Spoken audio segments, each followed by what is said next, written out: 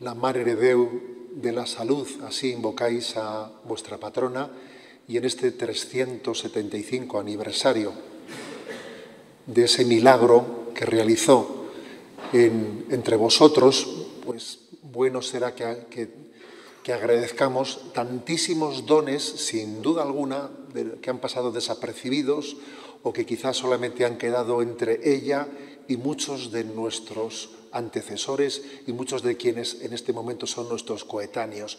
Solo ella sabe cuántas gracias se han derramado por su intercesión. Ella es intercesora. No están contabilizadas, ¿sabéis? No están contabilizadas, porque la, la gracia de Dios es gratuita. A veces los hombres cuando hacemos una cosa solemos siempre reivindicarla, ¿no? Uno, pues cuando se va a hacer unas obras, allí se pone un letrero que dice Ministerio de Obras Públicas y enseguida, antes de hacerse la carretera, se anuncia eh, quién la va a hacer y quién... Eh, Dios hace las cosas de manera que no las reivindica, da dones que pasan desapercibidos. Y por eso es importante suscitar nuestra sensibilidad y nuestra conciencia ¿no? para ser agradecidos a Dios. Queremos que María ¿no? nos, nos dé ese don de percatarnos de cuántos dones hemos recibido, mucho más de los que suponemos. Y a veces no, no, habrán coincidido las cosas que se le han pedido a María con las que ellas nos han dado, con la que ella nos ha dado. Pues por ejemplo hoy quizás le hemos pedido una cosa y nos ha dado otra. Muchas veces no habrá coincidido lo, lo que ha sido pedido y lo que, pero estoy seguro que lo que ella nos ha ofrecido es mucho más que lo que nosotros pedíamos. Claro, cuando rezamos el rosario, allí hay una oración conclusiva que dice, ¿no? Le pedimos a Dios que nos dé por intercesión de María continua, dice así, ¿eh? continua salud de alma y cuerpo.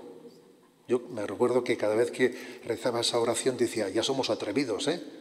Porque dice, continua salud de alma y cuerpo. Hombre, continua, continua, somos conscientes de que nuestra condición mortal es la que es, ¿no? Y, que lo propio también ¿eh? pues de, nuestra condición humana pues es nacer, crecer, desgastarse ¿eh? y, morir. ¿no? Por lo tanto, casi va de suyo, es propio, es inherente a la naturaleza humana también la debilidad y la enfermedad. ¿eh? Y la enfermedad es inherente. De tejas para abajo, podríamos decir que uno que tiene salud es un enfermo en libertad provisional, ¿eh? porque tarde o temprano, tarde o temprano, pues van a llegar las goteras, tarde o temprano llegará la salud, llegará la enfermedad, porque es inherente a nuestra vida. ¿eh? Y viene el momento de debilidad, etc. Pero es cierto que como para nosotros la salud es algo tan íntimo, tan personal, nos condiciona tanto el no, el no estar bien de salud, solemos y es normal, solemos focalizar nuestra petición principal por la salud. Es normalísimo, porque si hay algo que nos afecte eh, a nuestro yo, a nuestra identidad, es la salud. Y lo, lo que nos brota espontáneamente es que nuestra primera petición sea la salud.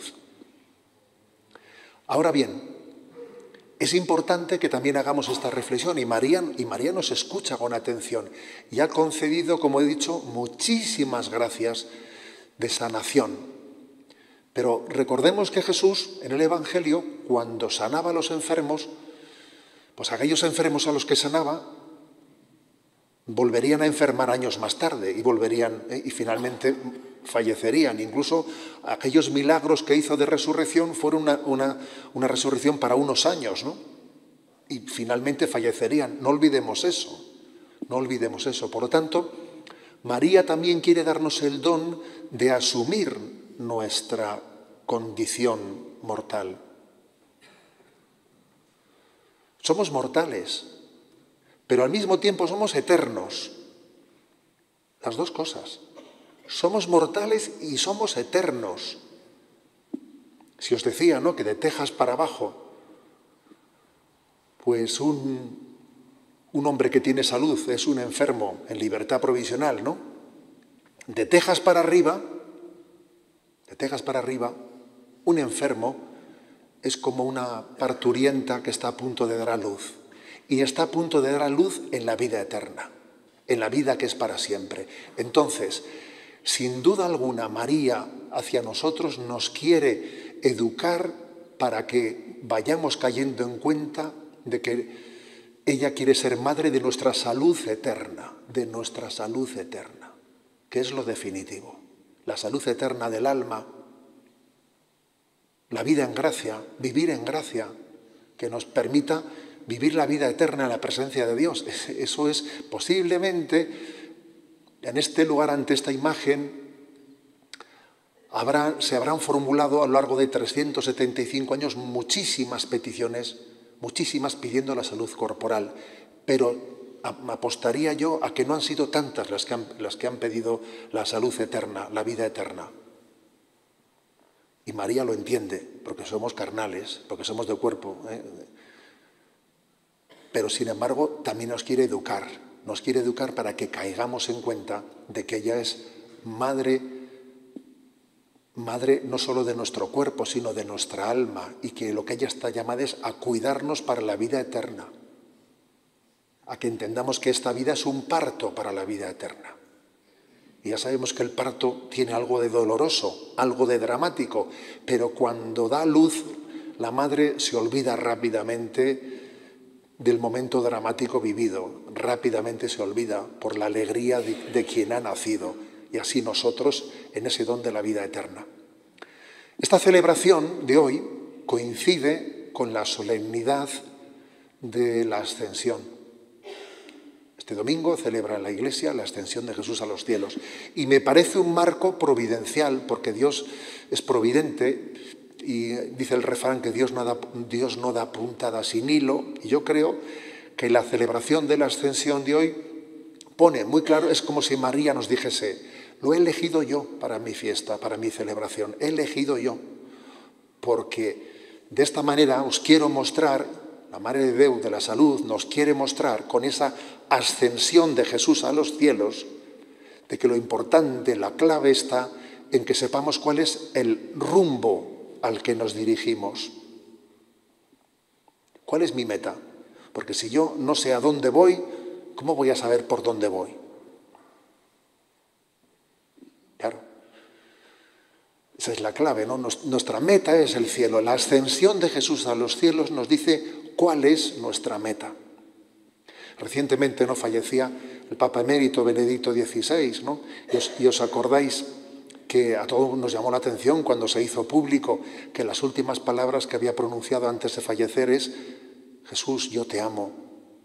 No sé si nos acordamos ya, porque pasan los años, de que las últimas palabras pronunciadas por San Juan Pablo II antes de morir fueron, dejadme ir a la casa del Padre. Y esas palabras, escuchadas hoy, que es el día de la ascensión al cielo, tiene en su actualidad. Nuestra meta es ir a la casa del Padre. María, la Madre de Dios de la Salud, te dice, toma conciencia de cuál es el rumbo de tu vida. Esa es tu meta.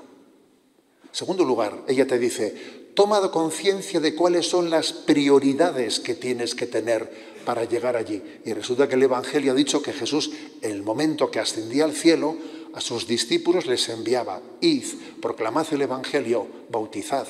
Luego nuestra prioridad en esta vida tiene que ser evangelizar. Nuestra prioridad es evangelizar. Es lo que Jesús nos dijo cuando marchaba al cielo. Esa fue su última voluntad. Id, evangelizad, proclamad por todo el mundo. Nuestra prioridad es evangelizar. Para eso hemos nacido. Todo cristiano está llamado a ser un evangelizador. Y al mismo tiempo, la ascensión nos dice cuál es nuestro rumbo, cuáles son, cuál es nuestra prioridad en este camino. Y nos dice cuáles son nuestras apoyaturas en este camino. ¿Y cuáles son esas apoyaturas? Pues fíjate, les dice, id a Jerusalén y esperad allí el Espíritu Santo. Entonces, les pide que vayan al cenáculo y que estén juntos con María esperando el don del Espíritu Santo. Luego está claro que las apoyaturas son vivir en cenáculo, es decir, vivir en comunión, no dispersarnos. Cuidado con la tentación del individualismo. La vivencia comunitaria de la fe es clave. La vivencia comunitaria de la fe, la Eucaristía dominical. Les mandó al cenáculo, al sitio en el que se había instituido la Eucaristía, Jesús asciende a los cielos y van los apóstoles y los discípulos al cenáculo, al lugar de la Eucaristía, todos unidos, con María. Luego ya está dicho cuáles son las apoyaturas. Vivir en comunión en, el seno de la iglesia, celebrar la Eucaristía dominicalmente y tener a María en medio de nosotros. Esas son nuestras grandes apoyaturas. Comunión eclesial, Eucaristía y devoción a María. Con esas apoyaturas podremos llegar a la meta que es el cielo, viviendo esa gran prioridad que es la de la evangelización. Felicidades de todo corazón ¿eh? a todos los hijos de Onil, a todos los que habéis visto en vuestra patrona, la Madre de Deu de la Salud, habéis visto esa, esa sonrisa de Dios que os acompaña, que alivia momentos duros en los que Dios nos acompaña y no nos deja nunca de la mano. Felicidades de todo corazón. Hoy, Madre, te dirigimos a ti todos, ¿no? Nuestra, nuestra súplica. Queremos rezar, rezarte una Ave María como signo de gratitud. Dios te salve María, llena eres de gracia el Señor es contigo, bendita tú eres entre todas las mujeres, y bendito es el fruto de tu vientre Jesús. Santa María, Madre de Dios, ruega por nosotros pecadores, ahora y en la hora de nuestra muerte. Amén.